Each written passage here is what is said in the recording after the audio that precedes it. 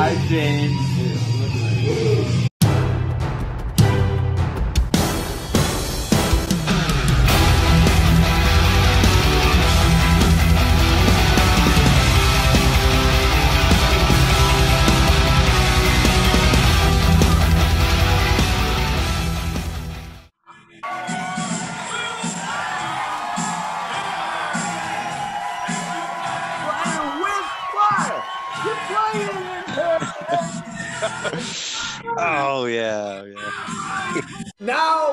Have joining us, we have the one and only, again, we have Mateus, his favorite guitar player since he was 18. We have John fucking Christ.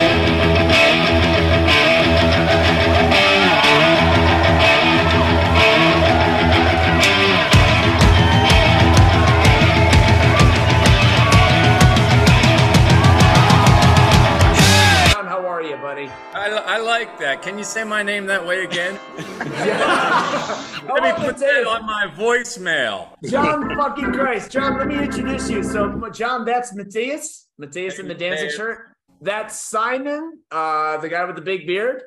Hey, Simon with the big beard. And that's and that's Andreas, the, the voice of Vintersorg. I don't know how you sing clean and scream like that. It's amazing.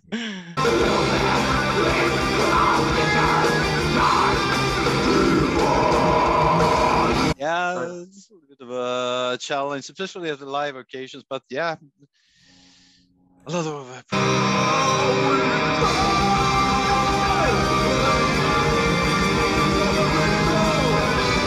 Hey, John, uh, in 2002 or 2001, Andreas traveled to America to get Steve DiGiorgio's bass tracks. Would Andreas travel back to America to get John's Christ guitar tracks?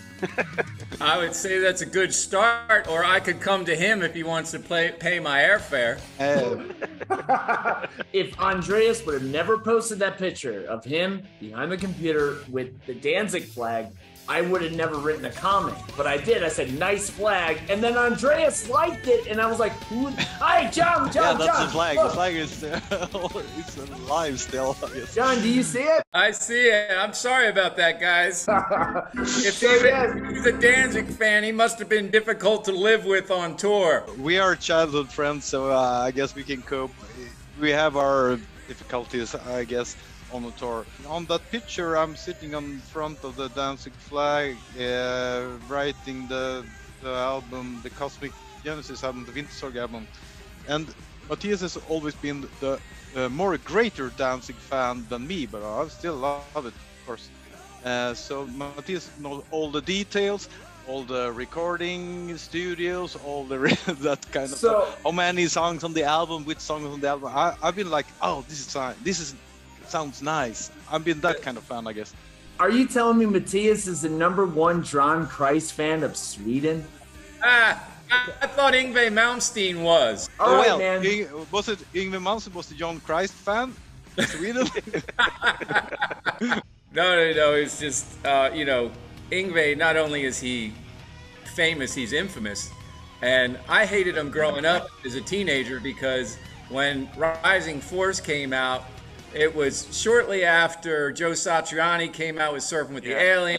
Eric Johnson had Cliffs of Dover. Uh, Van Halen had like 1984. So I got to learn all of this new guitar crap. And then this Swedish guy comes over playing like a violinist. So I was pissed off because it was so hard just to keep up with everything that was coming out, you know?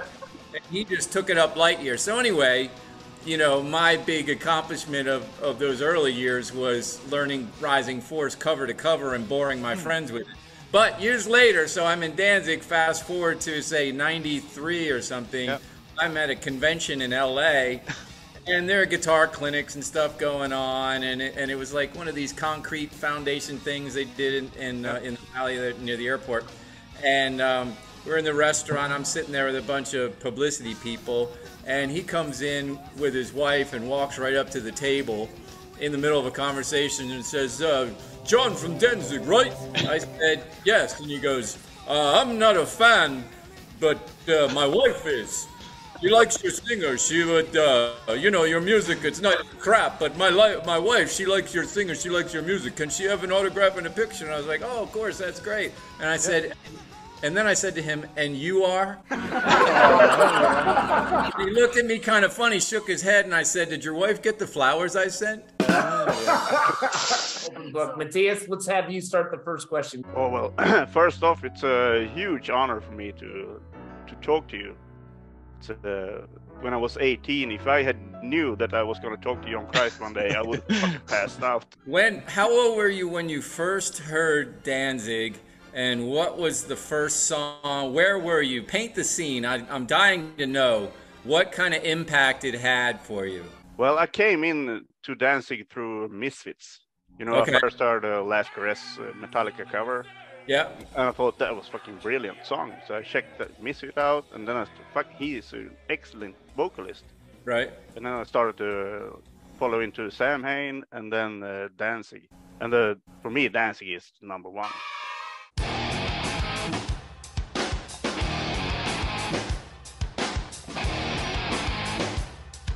Do you remember the first Danzig song you heard that you liked? Uh, Well, it was probably Mother.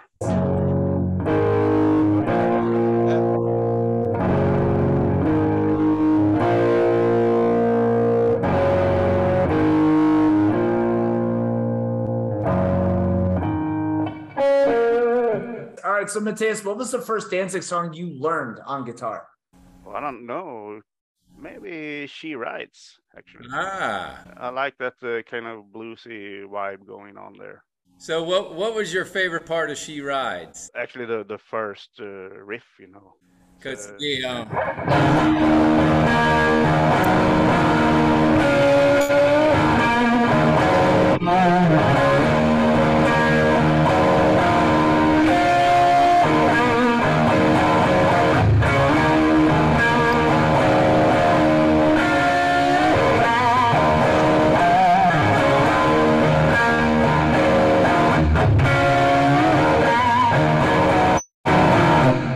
favorite part.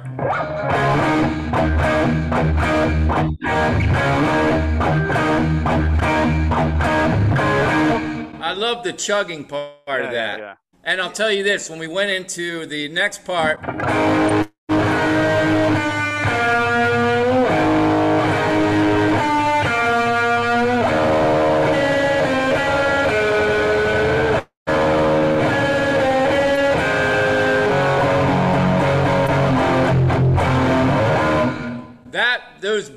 Rick Rubin really liked those bands. I was trying to do something like, you know, and he's like, nah, too much. Simon was not excited to meet me. He was waiting for you, John. Uh, listen, I must I must confess, uh, James uh, um, is the first guy to introduce me to your group, and um, not only am I impressed with the musicianship and the musicality, but I'm looking forward to digging into your older stuff. I think there's a lot of great stuff there, and uh, you know, I, I wish you guys all the best. I'm sure you're amazing live. I just wanted to say that up front before I get all cocky and rock star out on you. guys. Now Matthias can die happily. You know yeah, that? yeah, yeah. I have Yeah. a question to Jan. I'm not totally into all the details as well as Matthias is, but it, when you were writing songs, uh, did you did it? Did you do that with Glenn, or did you write? Okay, I write guitar parts, and then he came in for the vocal lines, or how did it did it work out together, or did he do some guitar parts and then you trans kind of transcended that into your own guitar style, or how did Well- that work out? On the first record, he already had some guitar parts worked out, but they nothing was complete. Right? um, as each record went on, you know, by um, man, by the end of Lucifuge writing, and then How the Gods Kill in the fourth record, it, he'd call me up on the phone, and he would have a micro cassette recorder, and he's going, "Rah, rah, rah, rah, rah," you know, and I'm sitting on the other end. I got, you know, I, Oh, that's the right I chords got to the that. and I'm, I'm putting my telephone down on a pillow on my couch and I got my acoustic guitar and I'm listening and I'm kind of, you know, kind of chugging stuff out, you know, and I'm like, you're you're doing what? You're you're chugging. And they say big chords. I'm like this. He's like, yeah, yeah, yeah, you know. Yeah. So, but in the in the in the very beginning, uh, when I got into the band, it was still Samhain. So there's Yeah. a lot of rock stuff, and I like to tell the story of like there was a version of Mother there.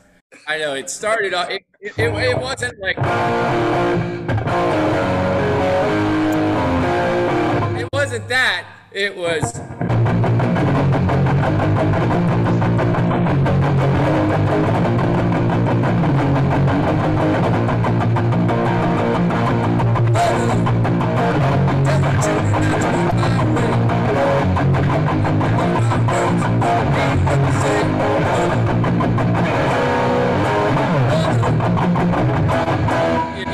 Like all punk rock.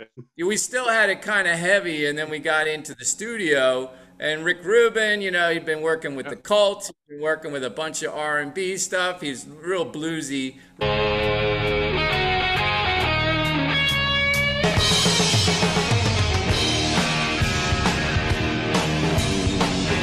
Rick was like a huge uh, Led Zeppelin, uh, ACDC fan and all that. So that's where we kind of found some common ground, you know. I see that Jack Daniels, very nice, very nice. And, uh, Mateus, Oh. Mateus, you said something about the, the punk rock version of Mother. What were you saying? Yeah, well, it's uh, it's you can really hear the Samhain uh, style of it. oh, in the beginning, yeah. Yeah, yeah, yeah. Oh yeah, in the in the very beginning, like, but so what happened was everything was fast, right?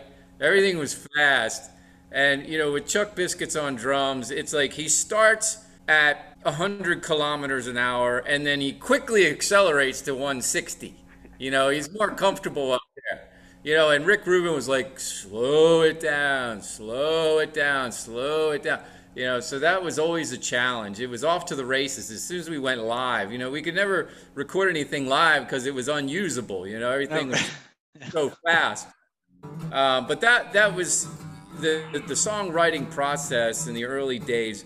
What would happen is, yeah, Glenn and I would get together, uh, we'd work on stuff, and then when we had a certain amount of material, uh, we would go down to the rehearsal studio, bring everybody in, and just with little the dual cassette decks, you know, we just put it up in the corner and we would jam. And when we got something close, all right, record that, record that, um, and then make copies for everybody and go home.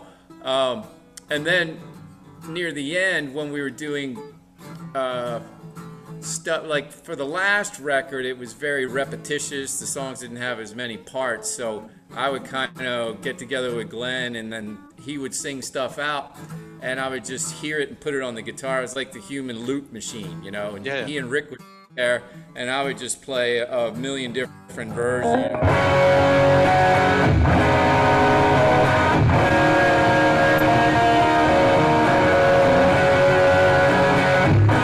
You know, and I'd be like, "That's kind of dark. I want to go to D," and they're like, "No, leave that one, leave that." You know, and there was their thing was, you know, I, I wanted to add more chunks, you know.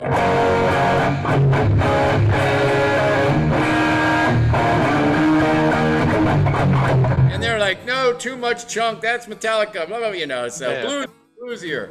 So it was always frustrating for me because I was a guitar player and I want to play lots of notes, play like scene and impress everybody. So. Yeah, you know, in the years leading up to you joining Samhain, what albums was spinning on your record player? Ah.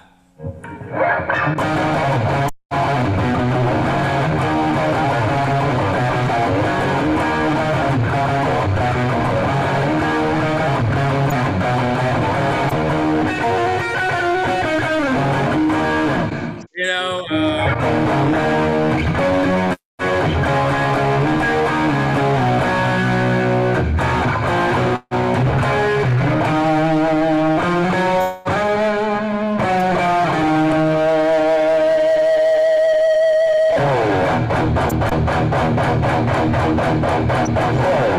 Little Judas Priest. Yeah, yeah, Yeah, Simon's not impressed, John. Here's a song, one of the first songs that Eerie and Chuck and I jammed on, that was Metallica. Um, because they were from punk rock, I was from rock and roll and heavy metal, right? So we didn't have a lot of common ground. You know, Eerie, mm-hmm.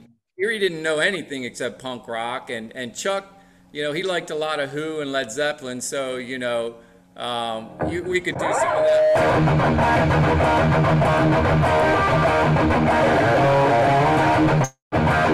But I did everything. Now it sounds like Faith No More. You know what I mean? Eerie like Metallica, so I was like, oh, do you know this one?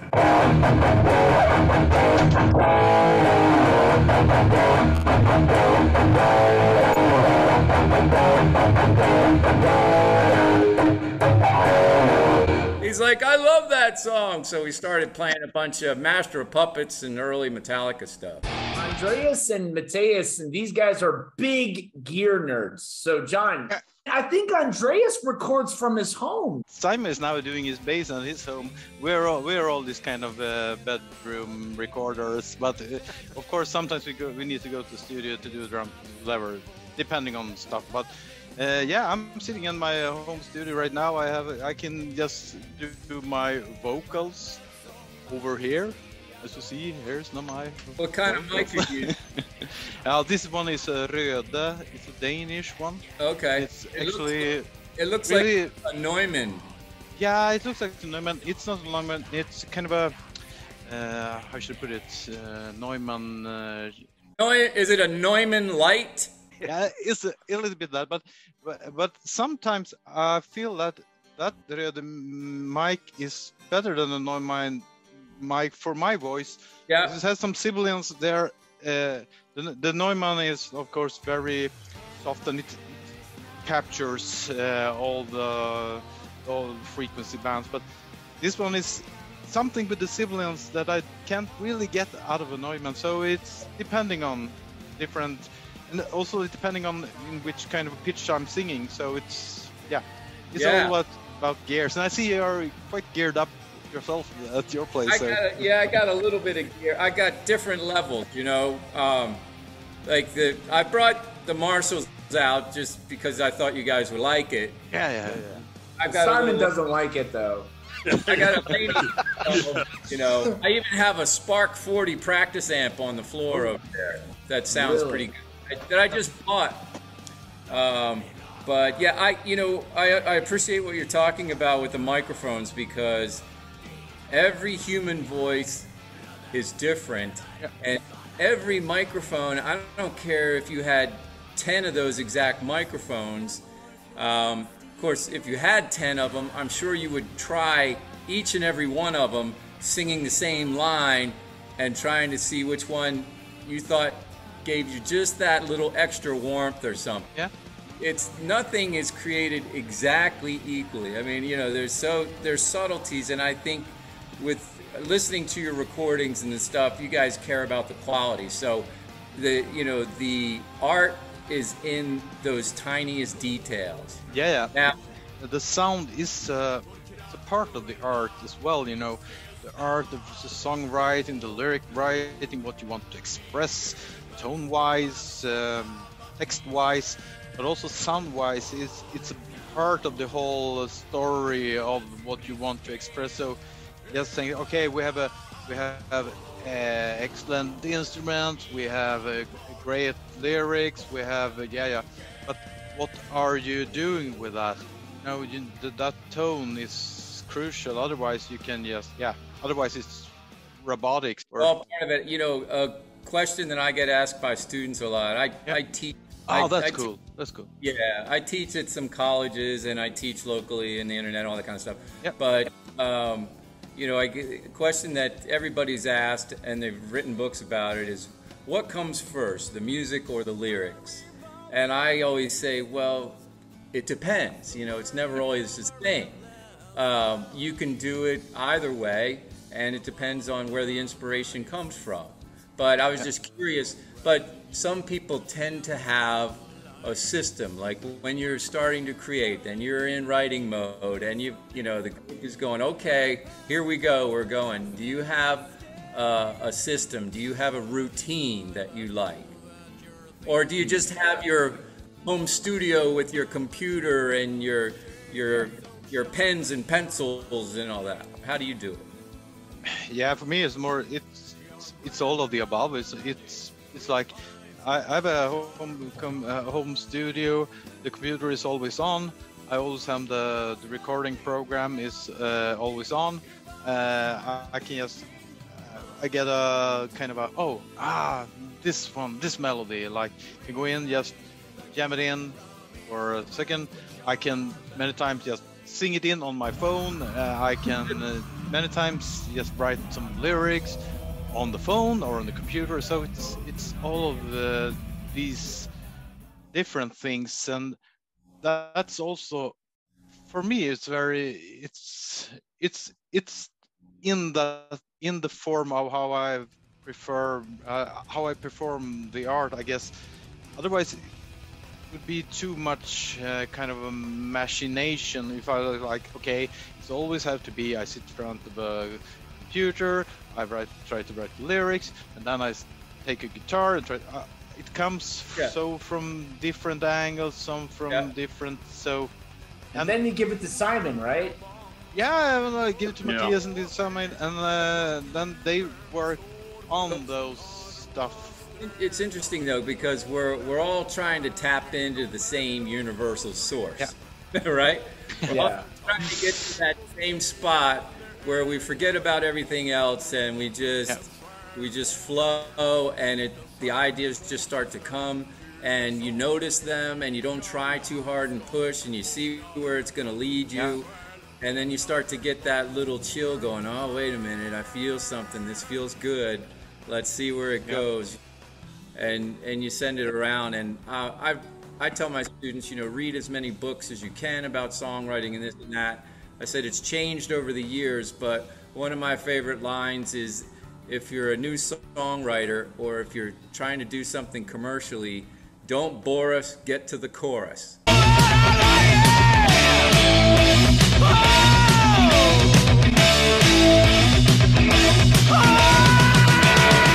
yeah, yeah but the, but that also goes a little bit to what you have to do the work to get the inspiration. For me, it's more like if you start to work with music, you get the inspiration.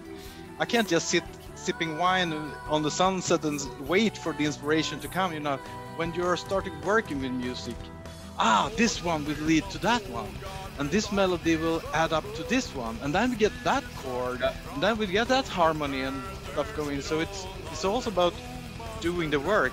If you just sit and wait for inspiration, the, the universal, univer- now, that answer, you just answered my first question. Yeah. Now, when I about routine, you said, oh, wait a second. Yeah, I do have a work ethic. Yeah. I do have a routine.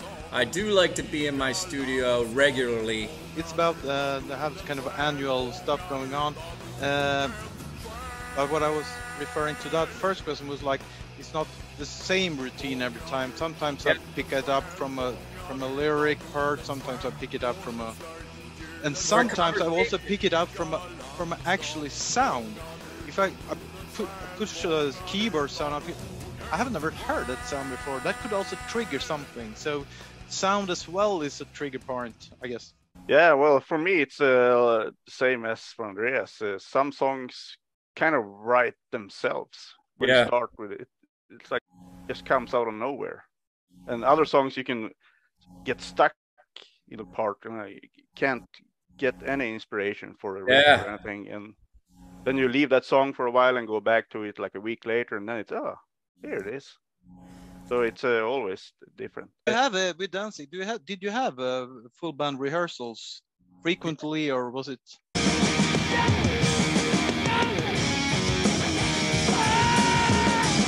Yeah, I I like to rehearse a lot.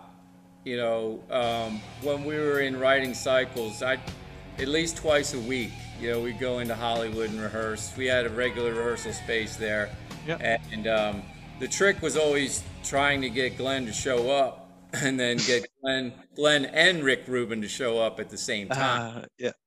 You know, Rick was always working with somebody. Um, yeah. And, but when they both showed up, it was great. And uh, a lot of times, you know, Glenn really didn't uh, finish any lyrics until we got to the recording studio. A lot of time, Buddy had this great knack for melody um, and and pulling a melodic line out. So we would be playing chords, and he would just be wailing in the background, you know. Yeah. And we would record that, and he would listen to it. You know, the guy could scream for like 40 minutes straight, you know.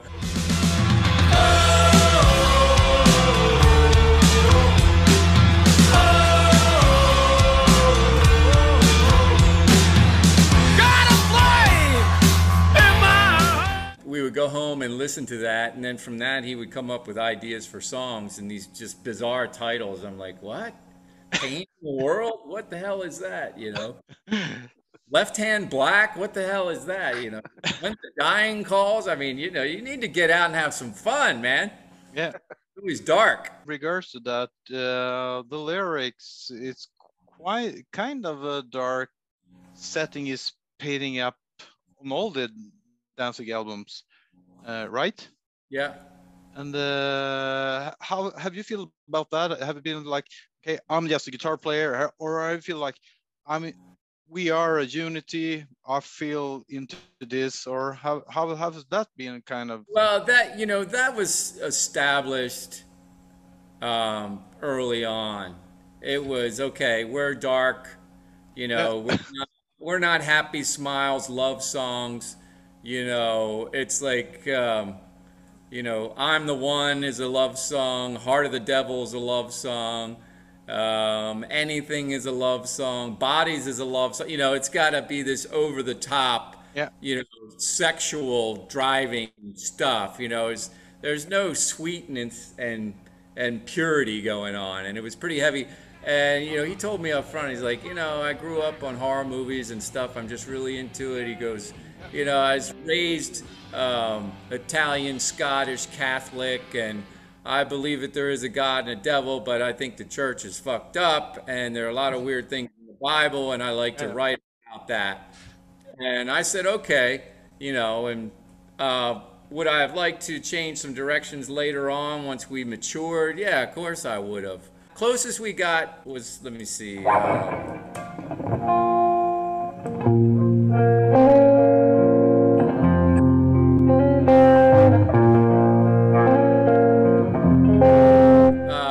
Tears. He did Sistinas. Yes. Uh, and then I think even Can't Speak was kind of, you know, soft like that. So, yeah, there, there just weren't two. That was a nice dynamic. You know, we might have one quieter song on the record, um, and then it's like, okay, you know, got one.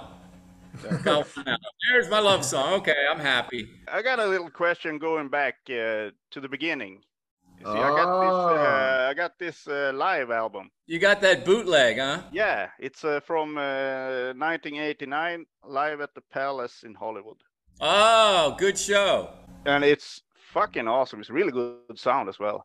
But you know, on this album, you play a lot of uh, like Misfits songs and uh, some Samhain stuff, and Yeah, that was early on. yeah, And uh, let's see, I think that was before the second record. We have one record out, right? yeah, yeah. There, there's you're gonna have like London Dungeon. What are the other songs in there? Horror Biz, London Dungeon, Halloween. Uh, Last Caress, and you have uh, To Walk the Night. Oh yeah, yeah, that's an old Samhain. Yeah, and When Death Had No Name. All right.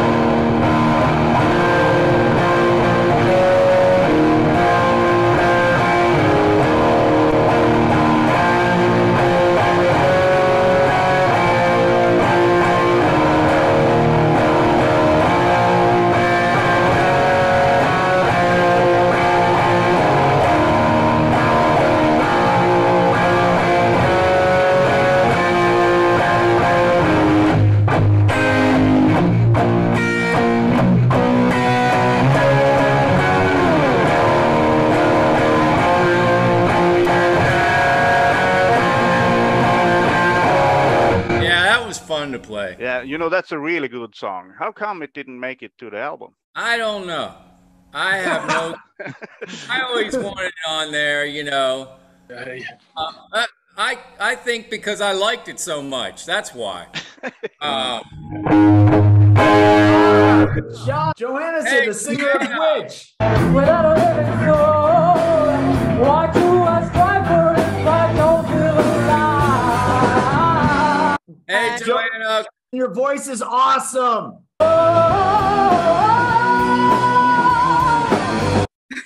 Thank you so much. John's gonna fly to Sweden to play Devil's Plaything. Could you uh, sing for him? Oh, So Johanna, how many years have you been singing? oh, since I was a child, I guess. What were some of the music tastes that you liked when you were younger that you still enjoy now? I, I actually liked Vintersorg a lot. Yay! What, what yeah, are some of she the- she has been uh, playing with Vintersorg on a live occasion as well, right? Yes. Well, let me ask you, Joanna, what, when did you start to think, hey, you know what? I think I want to be the lead vocalist for a band. Uh, that's uh, maybe a dream as a child that I never thought would happen, actually. So what changed? What, what, when did you say, you know what? I'm going to do it. I don't know. When, when you had an opening, I. Yeah, uh, me, me and Matte had our, our uh, Misfits Danzig uh, band going on for a few years, but uh, it all ended.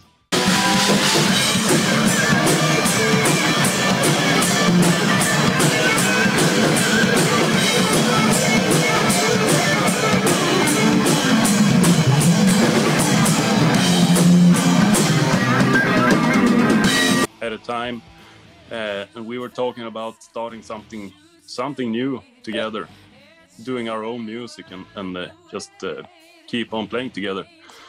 Uh, and that at that time we were looking for a singer, and we didn't look for a female singer actually, but uh, Johanna was stubborn and wanted to play with us. Okay.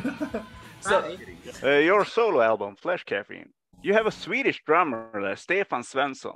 the yes, I call him Thor. How did you get him? And where, where is, what's his background? He um, he was an LA studio drummer. Okay. And uh, there is, uh, let's see, there was a magazine, a musician magazine that was popular in LA, and I put ads out. You know, I was looking for some pro quality people, and he came and tried out, and he was great. And uh, and we hit it off, and um, you know, I I loved Sweden when I was there. One of my sisters had been an exchange student in Skara, Okay. and uh, you know, so he knew Skara. They were the uh, the benders. They had race horses. They were the ones that made all the ceiling, the roofing tiles, and all that kind of stuff.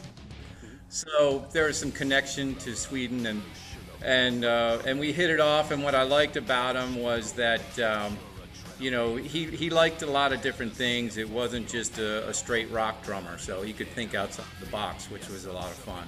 Yeah, That record is the first time I did a lot of drop D tuning. You know, I hadn't really yeah. done much before that. You know, here's the thing about Flesh Caffeine. Like I said, I never claimed to be a singer.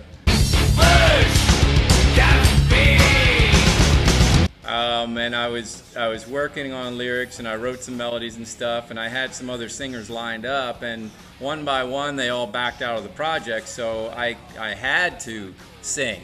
I was working with the, engineer and we started doing vocals and he, he said I just don't think you have what it takes to sing and I was straining.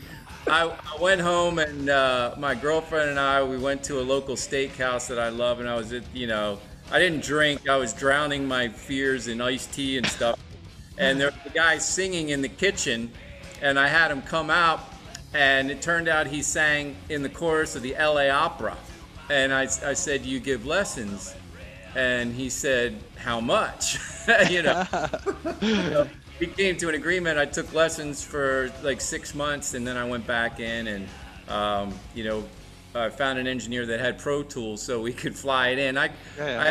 I had good pitch and good feel, but I just didn't have the endurance and the breathing power to, to do that kind of thing. You know, it wasn't wasn't my skill set. So, like I, I like to say, I made up for quantity what I lacked in quality. So. Hey, We put lots of harmony vocals on there. You know, there are a couple of songs, Shadows, I'm Gone, and uh, Stop the World that have all these big layers of vocals that were a lot of fun to do.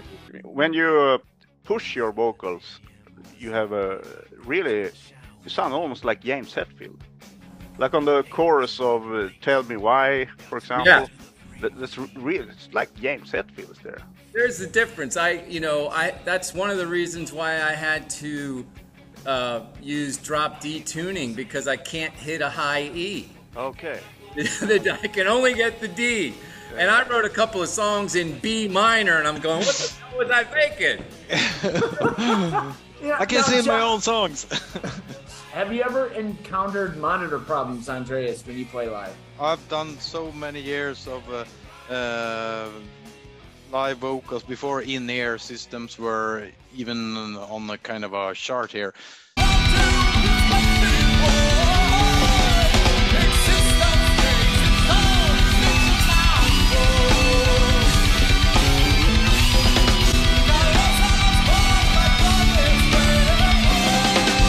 Yeah. So uh, th- those monitors, when you were playing, especially when you were playing in kind of a really harsh band, death metal, black metal band, uh, there's so much distortion going on, uh, so much loud is going on. It's very hard, and then you all you all need to hit that clean uh, note, and you don't hear really what is the note because it's That's right.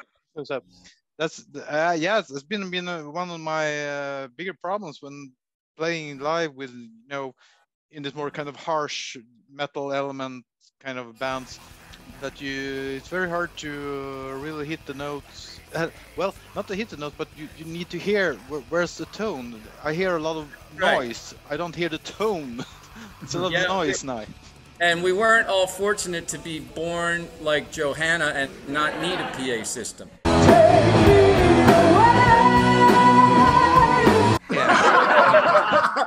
Uh, James, we go into the, this game now. Uh, pick your pick your favorite guitarist, because uh, John mentioned a couple of them, and I've I've when I was younger, I was like, oh, this kind of guitar hero. Uh, I was listening to a lot of them, but the Guitar Hero uh, kind of um, emblema was put on Yngwie Malmsteen and stuff like that. But it, it could Yeah. be all other guitar heroes. So I will show seven of them, and you have to pick one.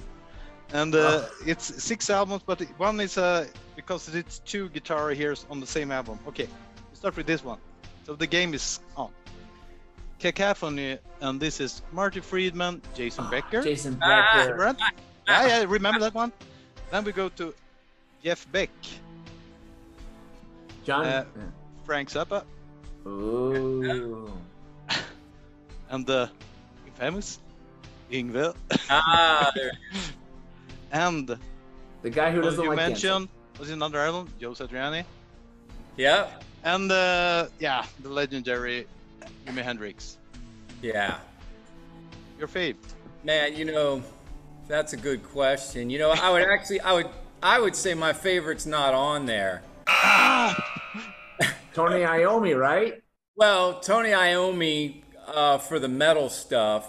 Um, for straight up rock and roll, you know, there was a guy named Tom Scholz that changed the way guitar sounded forever. Um, he played for a band called Boston. Ah, Yeah. and he was amazing. Um, there's another guy that that gets a lot of heat now, but this guy really fired me. up. I mean, Van Halen, because I was a guitar player, Okay, Eddie. everybody was uh, impressed with him. But the guy who really made me practice like eight hours a day was Ted Nugent.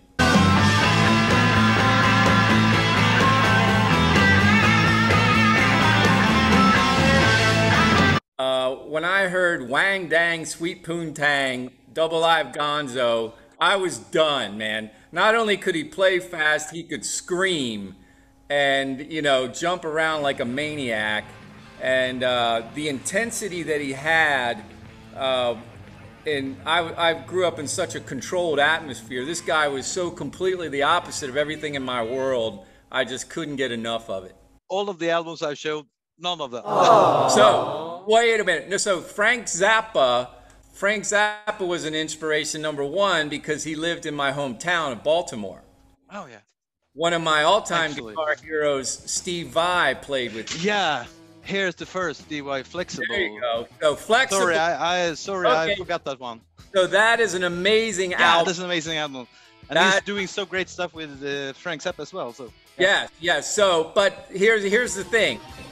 Frank Zappa landed, the spaceship landed, and brought him to Earth in the '60s, and then uh, in the late '70s, another spaceship came and dropped off Steve Vai. yeah, Uh, Mateus, who's your guitar hero? Oh wait, we already know Mateus. Why are we asking you? He's already here. So- Yeah, but but it's not the only one. I, I have a. I'm a big fan of Allen Collins.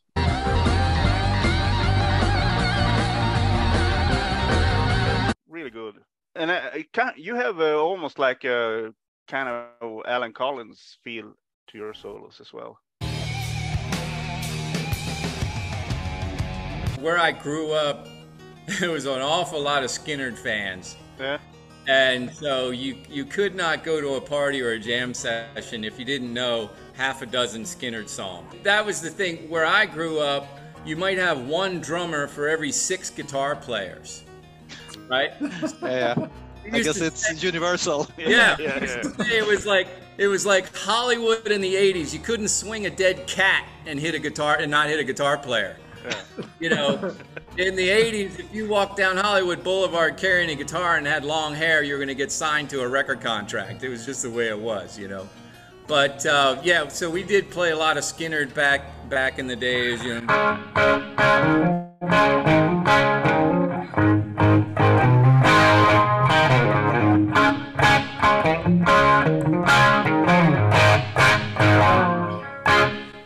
I, my favorite part of that was.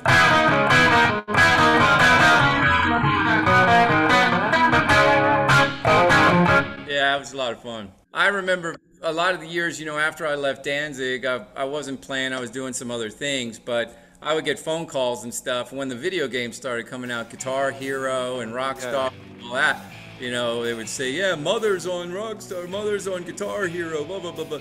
And then people would say, you're the guy from that video game. yeah. So Uh. Simon, go ahead. What are some of your ba- bass heroes or guitar heroes?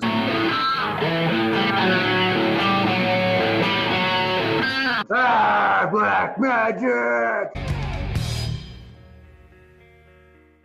Geezer, Lemmy, Cliff Burton. Andreas Hedlund.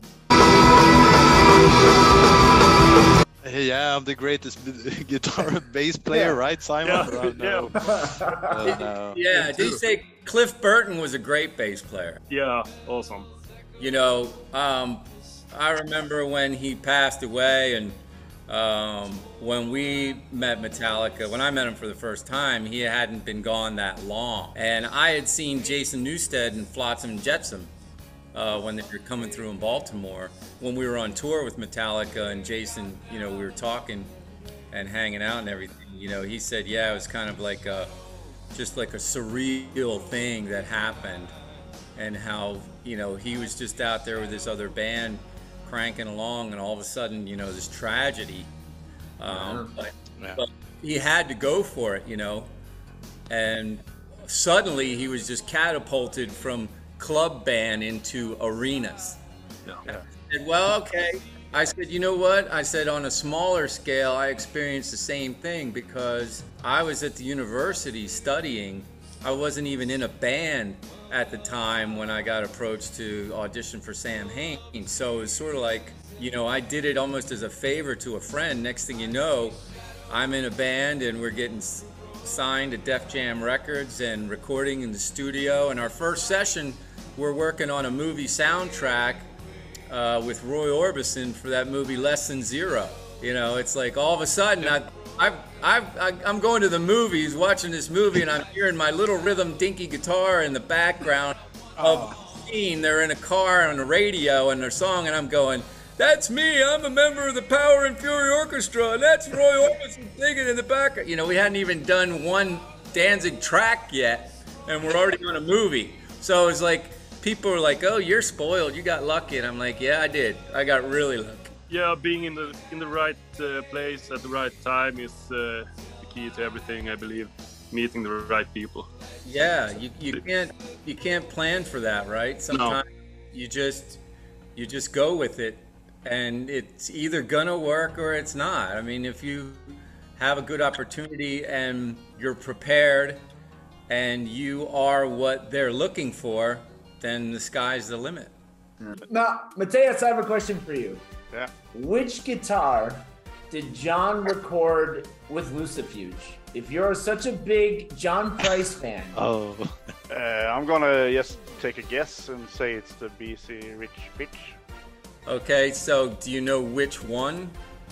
Oh no. you're disappointing me, Mateus. So everyone knows the primary one, which is this one that I'm holding here, right? Yeah. And actually, funny story. I digress just for a second. This uh, one of the stories about this guitar is on our trip, on our maiden flight out to LA to open up for Slayer. This guitar, uh, the neck got broken um, when they were throwing the baggage out, and they threw the bases and stuff on top of the guitar. And the, the neck, I got back to the hotel, and the neck was snapped.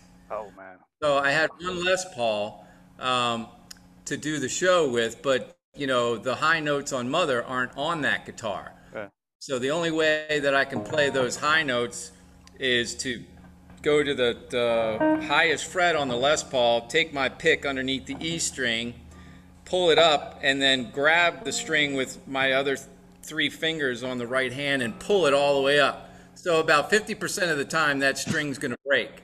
So I might get I might get the F sharp or I might get close to it. You know, but then I won't hit that string for the rest of the song, you know. So, but I get to the gig and I'm like, I'm upset because I'm like, oh crap, you know, we only got one guitar. What am I going to do? The good news was BC Rich was in California, so they took the guitar. Bad news is I only have one guitar, so I talked to Kerry King.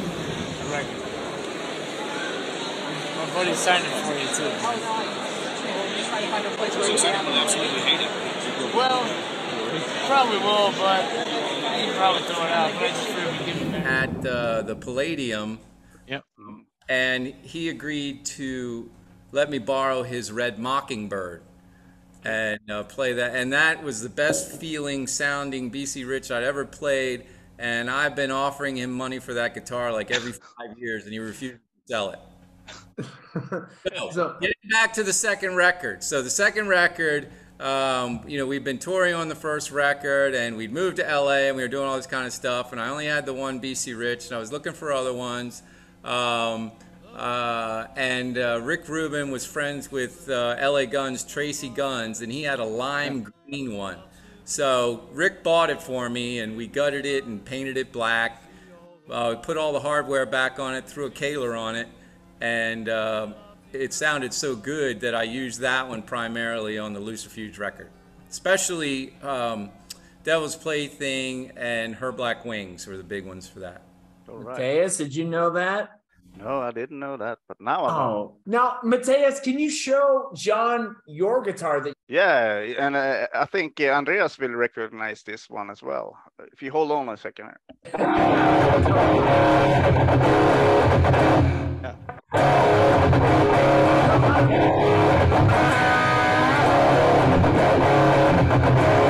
You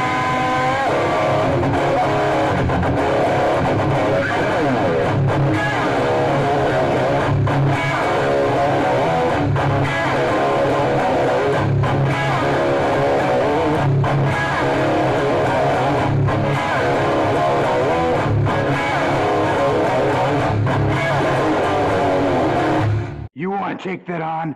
Good luck. Simon's still not impressed, John? But Matthias is back, so he entertained Alright. us. So I was just playing background Yeah. until he came back. So All right, you go were ahead, Matthias, entertaining ahead. During the break. So, uh, if you're talking BC Rich bitch, uh, this is not a BC Rich, but it's uh, kind of like a bitch. Ah, nice. It's a little special. You see, it's a different head, but Oh yeah, yeah, yeah. Formula. and this was actually one of Andreas' first guitars. Yeah, that one have uh, been in my possession for some time. Yeah, And this is really going back in time now. Oh, that's Yeah, Matthias. yeah. This is a This is history. we're time traveling now. Yeah, yeah. Hey, mind mind traveling. Does that guitar sound good? Uh, I haven't actually played it for a long while because it's missing a lot of parts. Oh, okay. but I think it's uh, sounding quite. So what's right. what's your main guitar? I play on a Gibson Explorer. Oh, nice. Yeah. Now, are Gibson pickups or? Yeah, ESPs it's a stock or- stock pickups. Oh, nice. Yeah, I, I started actually playing on a Jackson Dinky, and uh, then I tried. I, I bought a Jackson Kelly. I Uh-huh. like the balance of it. It- Right. Like it was so easy to play. and It was yeah, it just hang really good. I went please. on to uh, Gibson Explorer, and I'm never going back. What was it first? Was it just the sound of it, or the feel, or just both? It's both. Both. And in combination with uh, my amplifier, I use a Mesa Boogie dual rectifier. Oh, okay, okay. and it's uh, really good for everything from like uh, blues to metal and stuff. So I really like that. I remember when they first came out, the dual rectifiers, because everybody was using the Mark IVs before that, Yeah, yeah. and stomp boxes, and um, right Yeah. before that is when everybody was using these uh, MP1 processors. Metallica was Yeah, even Uh, these horrible little processors, and Yeah. uh, do you do you all remember the the Zoom processor? yeah. Everything was inside a tube or something like that. Everything sounded Yeah, it sounds Or- awful. Andreas, what about you? What's your main axe? He's yeah, asking this about main, axe. main X. The Vintersorg symbol is imprinted in it. Actually, it's kind of a explorer type of setup, but it's a custom made one. nice. Yeah, nice one. A nice Now, one. is, that, is that a Floyd Rose on it, or, or an Ibanez Floyd yeah, Rose? it's yeah, it's a Floyd, Floyd Rose, uh, and actually, I would rather. I'm I'm not Steve Vai anymore. I I like Steve Vai playing. I, I really like the Steve Vai playing the the, the uh, Steve Vai type of style, but I don't do that. This is the setup right now, and it feels really nice. And I've I know this one for many years, and Matthias was one of the guys who was setting it up for me. And he was working at the guitar shop and was fixing it. And they were, and it's had, yeah, the, the, we, we have this kind of symbol for the Windsor symbol. Yeah. Uh, I will have it. Yeah, you see, I'm. this one is uh, in the. This one we have, and we have Oh, it yeah. all imprinted on our albums, and everywhere. now we have it imprinted on my guitar. So Andreas, you're not a tattoo kind of guy. A lot of people get like tattoos of like their logos or their names on their body. Are you ever gonna get the Vintersorg circle tattooed on your body or maybe your butt or something? yeah, it should be because of the, we have uh, so many fans that have it on their body. we have the few people have it on their arms, on their chest, on their back. I even got one guy that has it on on the neck here. So I, I would of course be the one first to have had it, but uh, somehow I didn't. And uh, yeah, I just should have like right. Do what you want, man. Yeah, yeah. If You're I have some tattoos, but it's uh, it's not uh, that one. But uh, yeah. Hey John, uh, Simon has his axe with him, so let's. Oh, let's see nice. what's- old Rickenbacker. Hey Simon, you guys got to send me some uh, some T-shirts, Yeah. some swag. I would send you some Danzig, but I gave it all away. Look at that thing. That looks beautiful. Yeah. Well, it's an old 70s Rickenbacker, I think. Um, haven't really done much on, on this. I changed the pickups to uh, the Rickenbacker uh, humbuckers Okay. instead of the the original pickups. A little more uh, stronger mids, a lot louder outputs. Uh, kind of a little more uh, Lemmy Kilmisterish. Yeah, I think uh, Lemmy did use exactly those pickups. So Yeah. And you got to strum it like a guitar out of Marshall amps. yeah,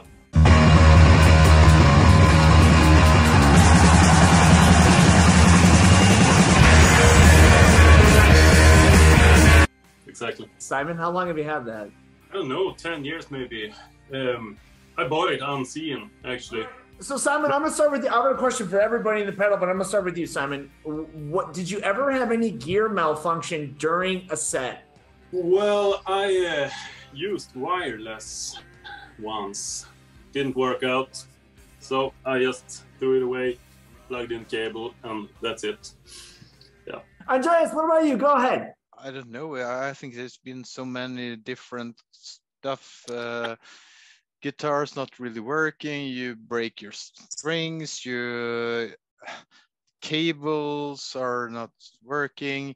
Uh, if you are not using cables, it's not working. So I guess I've been all across all over all those stuff. And I was I mean, I've been a vocalist in Borknagar. It was always all about that as well. Mics doesn't work. Monitors were, yeah, coming and going. Yeah, you know, it was been, and then you, and uh, I guess all you have, have played in a live with the monitoring. Uh, the monitor guy totally have the wrong setup. So you get the drummers monitoring as a vocalist. the, the drummer get another guys uh, kind of what they wish to have, uh, what they need to have to hear. So I, I guess I've been uh, all over that place.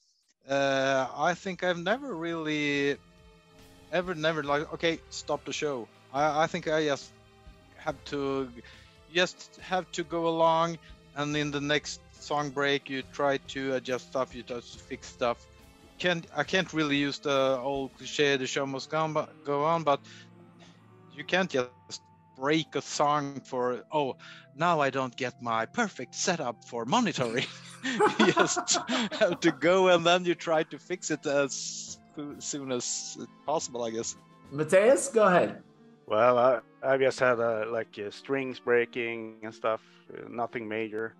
But uh, I have to tell you about when we played in Montreal once. Uh, Benny, our drummer, when he the first time he hit like a cymbal, the stand went down, whoop, and then he hit the next cymbal, and that stand went down. whoop. so we started to suspect like there was a sabotage or something. Man. what the fuck? A drummer without cymbals is like, uh, oh, it's Yeah. a lot of Yeah, it's- space.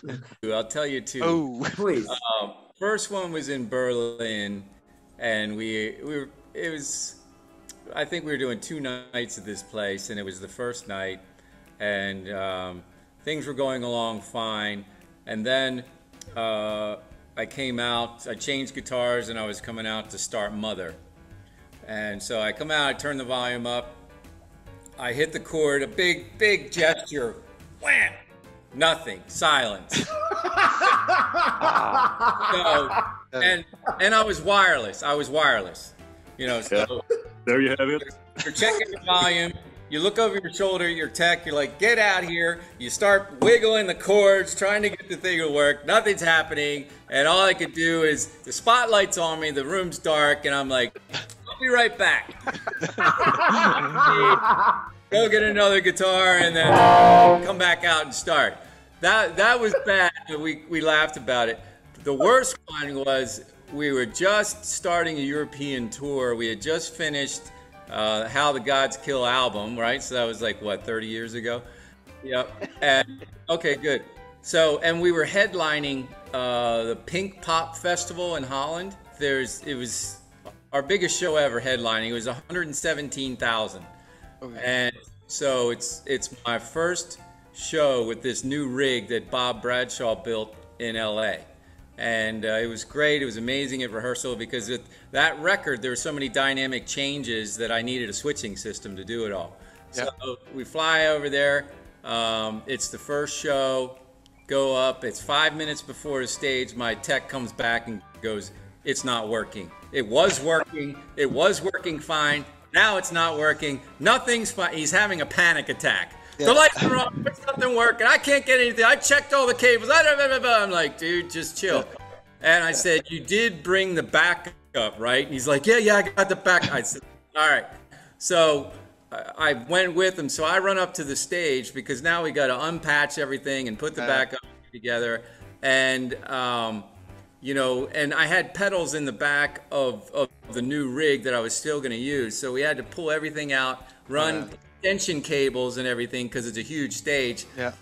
And so now we're not even on, we haven't even started yet. They're starting to play the intro music. I'm out on the stage duct taping down cables and pedals and all this. And we're like 15 minutes late. They're throwing bottles, they're throwing mud balls at me. They're, yeah, they're booing, they're doing all this kind of stuff. And then so I had to do my biggest show ever on my backup rig with one distortion pedal for all of those sounds. Yeah. And, and it was like oh yeah. the fans liked it and and here's the kicker right i i would always have a debriefing after the shows with our front of house sound man the mixer right uh, his name was rick and i would say hey rick how was it for you you know uh, because i worked hard with him at soundcheck is it didn't matter what it sounded like to me on stage as long as he was happy in the house right um, and it was so funny because he came back and he goes, he has a Jersey accent and he goes, he goes, bro, I know your rig didn't work. I know it went down. He goes, but here's the good news. He said, I was so far away from the PA system that the high end was blowing in and out with the breeze. he said the wind would come along and the guitar would just go away for a second or two and then it would come back. He said nobody knew a thing. Yeah, you get this totally uh, big shows with the big uh, venues, big areas, open area, especially open area. You get all that. Especially, I, I feel that a lot of as a vocalist on stage as well. The especially when you try, when you need to really need to. You have a lot of distortion going on. You need Yeah. to find the tone to really to really hit the tone with your clean vocals. And the, the sound is really blowing back and forth. It's kind of a flanger effect, like Yep. yeah, Yep. it's yeah. John, when you make music, do you like collaborating with other guitar players or I I like it all, you know. Uh, whoever whoever wants to play. I mean, um, Matthias? we uh, you know in, back in the Danzig days, we often entertained the thought about um, you know occasionally bringing out uh, a second rhythm player or something just to thicken up the parts because on the studio albums, you know, the the, the tracks were getting so big. Yeah, yeah. And it's like, man, how how are we going to do that live? You know, how are we going to? Because I just didn't want it to sound when I go to do a solo or something. I didn't want the bottom to fall out and be so empty. You know. And Glenn said, "Well, I could play rhythm guitar." You tried that once. I was like, "Nah, you're all right. You just you." Focus on the vocals. what about you and Mateus? Like, do you when you guys do your own solos? Are you like, all right, Mateus, you get the second solo, I get the first solo? How does it work for you guys? Matthias is the solo guitar. I'm more the rhythm dude, and uh, Matthias are doing the more solos. I do more kind of, I guess, melodic solo stuff on more kind of a clean guitar sound-ish. There, I feel more. Uh, that's more kind of my home area. I'm not this. Uh, well, yeah, that's my home area. More, uh, more kind of melodic solos, a little bit of a more kind of clean tone. But he so it's all about the the other ones. And yeah, so it's uh, I guess we haven't uh, really thought about it as much. It's been very natural. We have kind of divided it. Yeah, yeah, yeah. It's uh, exactly as he says. It's uh, it's kind of natural. It's always been like that. We don't write c- contracts. Okay, I need three I need guitar solos on this album, so I need my uh, time space here. John, if Simon and uh, Mateus bring back the Danzig cover band, they're like, hey, we need a guitar player. Quick, I know John Hey, Price. I know somebody. I know you, Christ.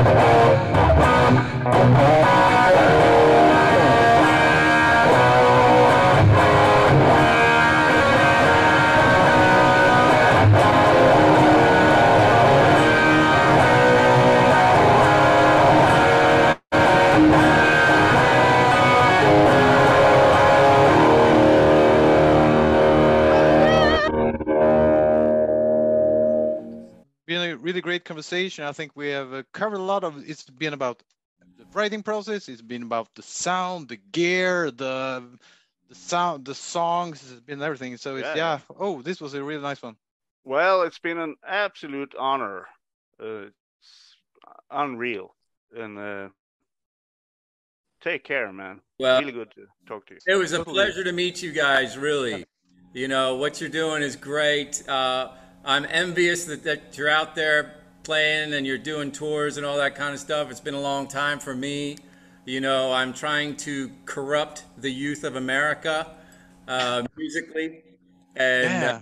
tell them not to get a real job and just make it more evil and go out there and follow your dreams. Uh, and uh, I look forward to turning some of my students onto your music and Yeah. hopefully, you know, uh, get to meet you sometime soon and and and play together. That Yeah, would be man. awesome. Uh, John, would you accept Vintersorg's offer to play on the next album?